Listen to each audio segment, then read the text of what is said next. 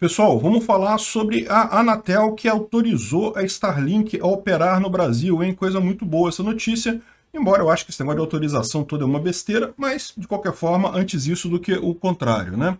Essa notícia foi sugerida por Tirolês V8, Reverso ZN e mais um monte de gente. Obrigado ao pessoal que sugeriu a notícia, obrigado a você que está assistindo o nosso vídeo. Se você gosta do nosso conteúdo, por favor, deixe o seu like, se inscreva aqui no canal, né? Bom, a Starlink, vocês sabem, é aquele projeto lá da SpaceX, do Elon Musk, né, uma empresa à parte, mas faz parte do grupo ali da, da SpaceX, em que eles colocaram um monte de satélites em baixa órbita para fornecer internet. Então, é um negócio que não é muito diferente do que já existe, já existe hoje internet pelo, por, via satélite, mas tem algumas diferenças que podem ser sensíveis. A primeira delas é que a latência é muito menor, porque a distância entre o satélite e a estação e a sua anteninha, a anteninha é essa coisa aqui, né? A distância é muito menor, então você não tem uma latência, não tem uma demora na transmissão muito grande, você consegue transmitir uma quantidade de dados maior.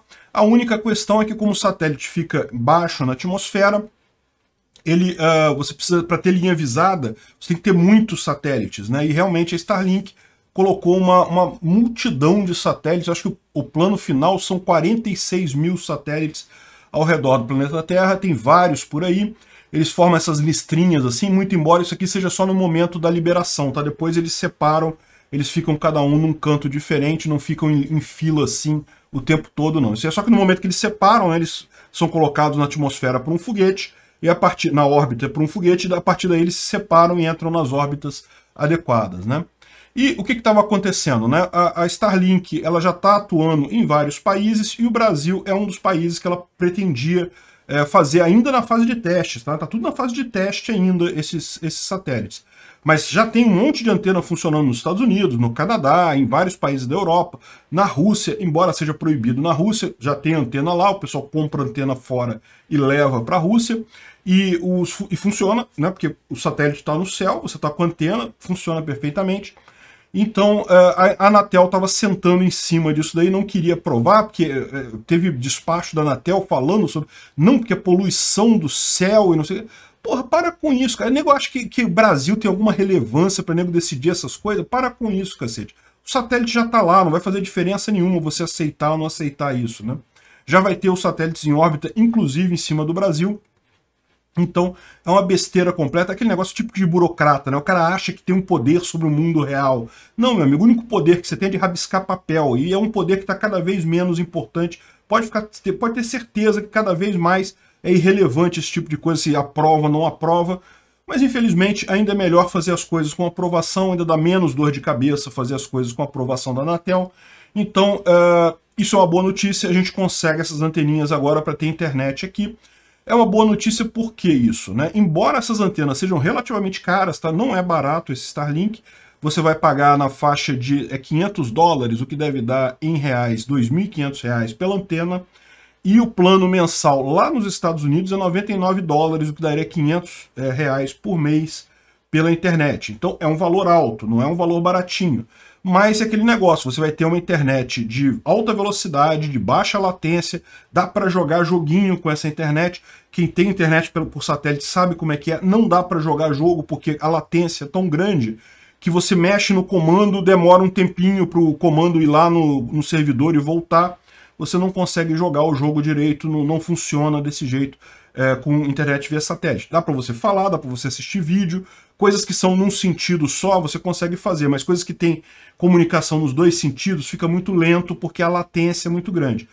Com a Starlink você consegue jogar em qualquer lugar do Brasil, qualquer buraco que você for, você consegue botar uma antena dessa e ter uma internet de qualidade. Então isso realmente é um ganho muito grande, é uma vantagem enorme para um país como o nosso, que aqui no, no Rio de Janeiro, São Paulo, aqui no Sudeste, em grandes capitais, no, no Brasil todo, na verdade, não, é, não vai ter nenhum grande ganho, porque você já pode contratar uma internet via cabo, muito mais barato, uh, com internet com uma velocidade muito mais alta e coisa e tal, então não, não vai ter grande vantagem para quem está em cidade, né?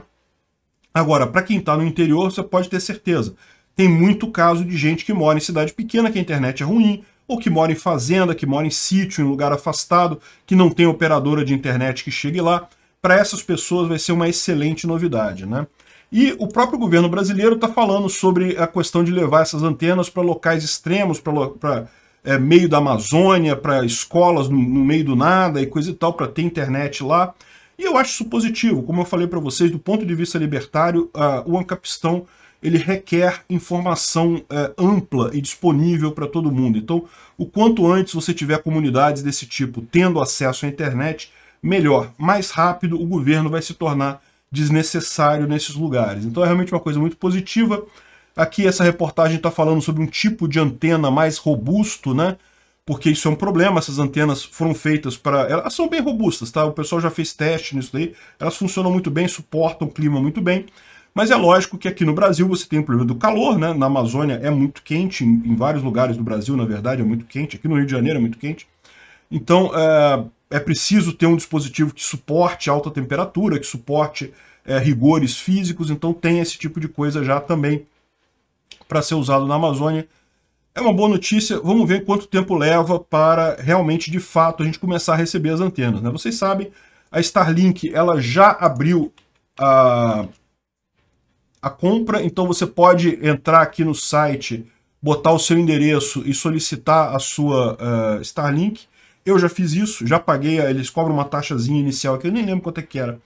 Mas eles cobram uma taxazinha inicial é, enquanto não está disponível. Quando tiver disponível, eles vão cobrar o resto e daí vão instalar a antena. Eu vou tentar instalar aqui no meu prédio no Rio de Janeiro. Eu não sei se vai dar certo não, tá? Mas eu prometo manter vocês informados. Por que, que eu estou fazendo isso? Não, eu já tenho internet aqui em casa, internet boa, não preciso disso. Mas ter uma internet via satélite é uma coisa interessante por uma série de motivos, né? Vai que amanhã o governo começa a fazer censura, tipo a China aqui, você tem mais um caminho para sair é, da internet aqui local do país e acessar sites fora daqui. Enfim, é uma experiência. Quanto mais informação, melhor. Obrigado por assistir o vídeo até o final. Além de curtir, compartilhar e se inscrever no canal, considere se tornar patrocinador com valores a partir de R$ 1,99 clique no botão Seja Membro abaixo para saber as condições e vantagens de patrocinar o canal. Mais informações sobre o nosso projeto, visite nossos sites indicados na tela.